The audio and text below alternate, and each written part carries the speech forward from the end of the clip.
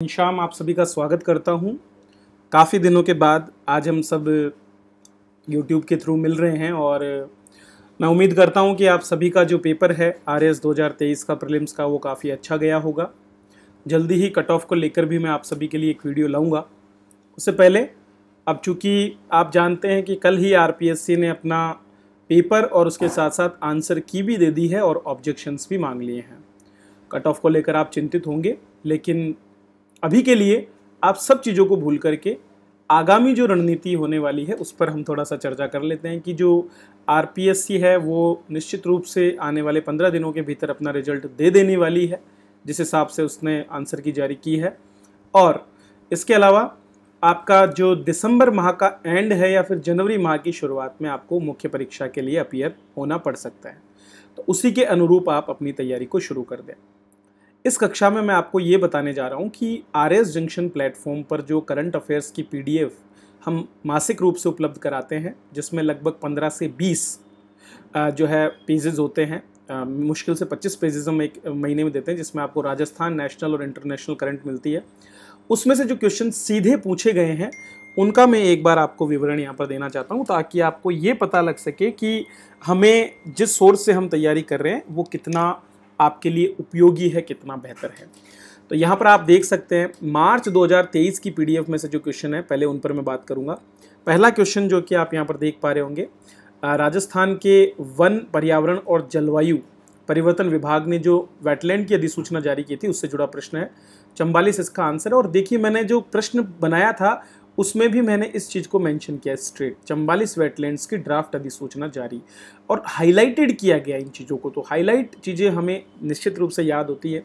वो आर्द्रभूमि अधिनियम, नियम 2017 का भी मैंने इसमें मेंशन किया था। तो यहाँ से ये पहला क्वेश्चन हमारा स्ट्रेट आपके बुक में से आया है। अब आप देखिए, हमारे जो करंट अफेयर्स हैं, वो हम कितने सारगर्भित रखते हैं। मतलब उनको बहुत बड़ा करने का हम कोशिश ही नहीं करते हैं। अगला क्वेश्चन था अप्रैल 2023 में। राज्य सरकार द्वारा राजस्थान सूचना आयोग की पीठ की स्थापना किस शहर में की जानी थी तो जोधपुर इसका उत्तर था। और ये देखिए, हमने लिखा था इसको कि प्रभावी क्रियान्वयन के लिए जोधपुर में सूचना आयोग की बेंच स्थापित की जाएगी। और फिर हमने इसमें राजस्थान राज्य सूचना आयोग की डिटेल्स भी हमने यहाँ पर नीचे इसमें दी थी। इसके बाद में अगला प्रश्न जो वैश्विक खुशहाली सूचकांक 2023 वाला था 126 जिसका उत्तर है, ये भी मैंने बिल्कुल क्लियर दिया था कि लगातार छठे वर्ष दुनिया का सबसे खुशहाल देश स्वीडन था। इसका पीछे वाला पेज का हिस्सा रह गया है। वर्ल्ड हैप्पीनेस रिपोर्ट में एक देशों में भारत एक स्थान पर था। पड़ोसी देशों की भी हमने जानकारी दी थी और जो छह प्रमुख कारक इसमें होते हैं, वो भी हमने दिए थे। फिर आपका अगला क्वेश्चन रोगों से जुड़ा हुआ था। जीवाणवीय रोग कौन सा नहीं है?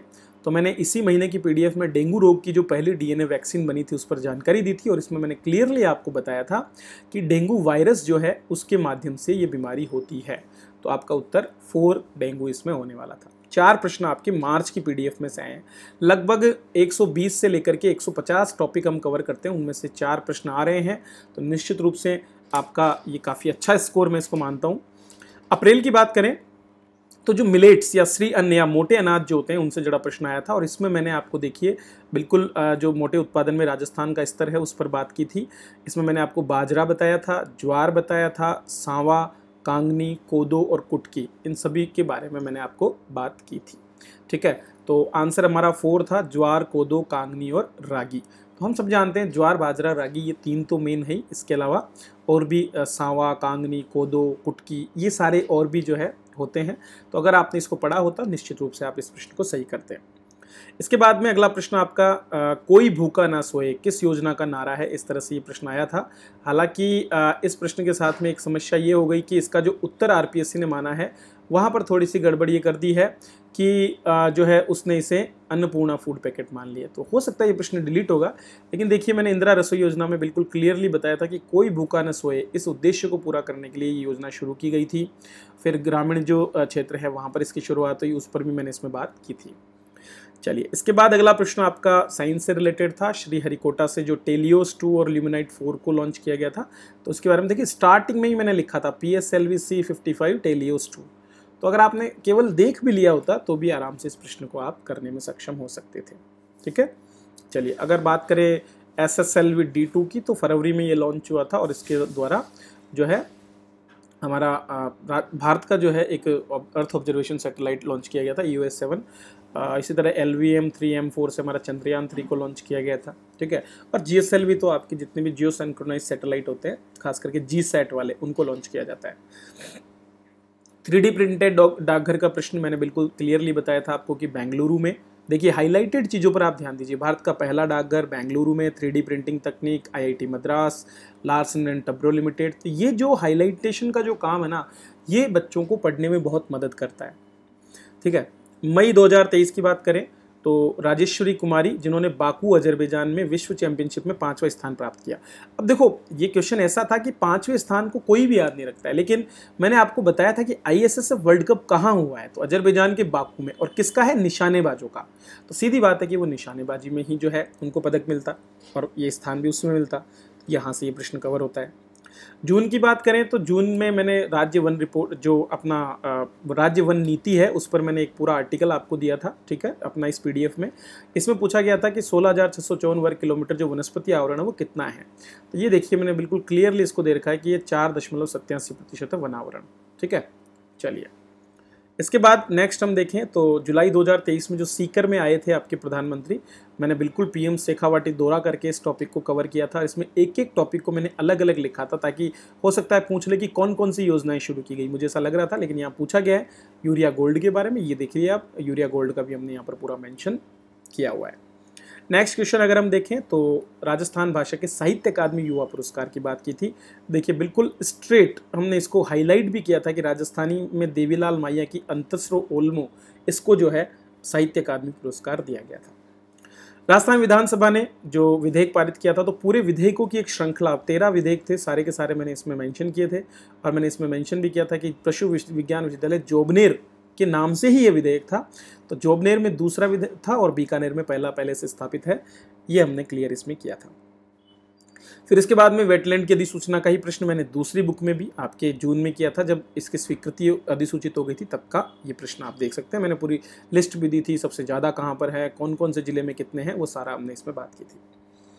नेक्स्ट आपके आर्टिफिशियल इंटेलिजेंस का जो प्रश्न था ग्लोबल समिट का तो उस पर मैंने स्मार्ट रोबोट प्रेस कॉन्फ्रेंस के नाम से इसको सम्मिलित किया था।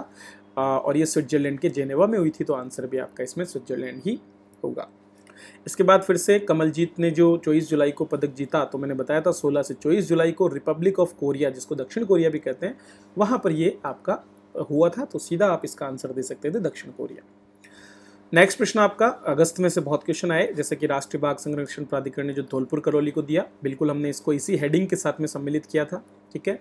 राष्ट्रीय संसदीय संघ का भारत क्षेत्र का नवा सम्मेलन, इस पर भी मैंने डिटेल में आपको बताया था कि नवा सम्मेलन उदयपुर में आयोजित हुआ है, बिल्कुल क्लियरली हमने इसकी थीम और बाकी सब चीज़ों पर बात की है। फिसू वर्ल्ड यूनिवर्सिटी गेम्स, मैंने गेम्स को पूरे कवर किया था और यहाँ पर आप देख सकते हैं, फिसू में भारत सातवें स्थान पर, देखो हाईलाइटेड है। हाईलाइटेड चीज़ें ऐसी होती है जिनसे प्रश्न बनने की संभावनाएँ होती है। फिर आप देखिए अस्त्र मिसाइल एल सी तेजस वाली तो इस पर देखिए मैंने बिल्कुल क्लियरली बियॉन्ड विजुअल रेंज हवा से हवा में मार करने वाली स्वदेशी मिसाइल। तो ये आपका बिल्कुल वही चीज़ लिखा हुआ है बियॉन्ड विजुअल रेंज हवा से हवा में मार करने वाली मिसाइल। आप आसानी से इसे कर सकते थे। नेक्स्ट प्रश्न आपका आया था, भारत के खुले संग्रहालय शहीदी पार्क का अनावरण कहाँ किया है? तो दिल्ली में, दिल्ली गेट के पास शहीदी पार्क को यहाँ पर विकसित किया गया था, इस पर मैंने चर्चा की। फिर आपका उद्गम पोर्टल का प्रश्न, हाल ही में किस संस्था ने उद्गम पोर्टल लॉन्च किया? तो देखिए, आरबीआई ने लॉन्च किया उद्गम पोर्टल। केवल हेडिंग से आपको पता चल रहा है कि कहाँ पर आपका प्रश्न पूछा जा रहा है। तो कुल मिलाकर के ये तेईस प्रश्न स्ट्रेट यहाँ पर पूछे गए इसके अलावा हमारा जो इकोनॉमिक रिव्यू मैंने आपको दिया था, उसमें से तेरह प्रश्न, कितने? तेरह प्रश्न आपको इकोनॉमिक रिव्यू में से पूछे गए तो वो भी मैं आपको बताऊँगा, कहाँ से मैंने कौन कौन से क्वेश्चन दिए और किस तरह से नेमोनिक्स के माध्यम से आपको मैंने याद करवाया था। तो उम्मीद करता हूँ ये चीज़ आपको मदद की होगी। डेफिनेटली आपके कमेंट्स ये चीज़ बताएँगे। अब चूँकि हमारे पास समय बहुत कम है तो आगे हमको मुख्य परीक्षा की तैयारी शुरू करनी है। हमारी पेपर वन की टेस्ट सीरीज़ तैयार है और अवेलेबल है आपको हमारे पोर्टल पर, ठीक है? और पेपर टू की जल्दी ही हम तैयार करने वाले हैं।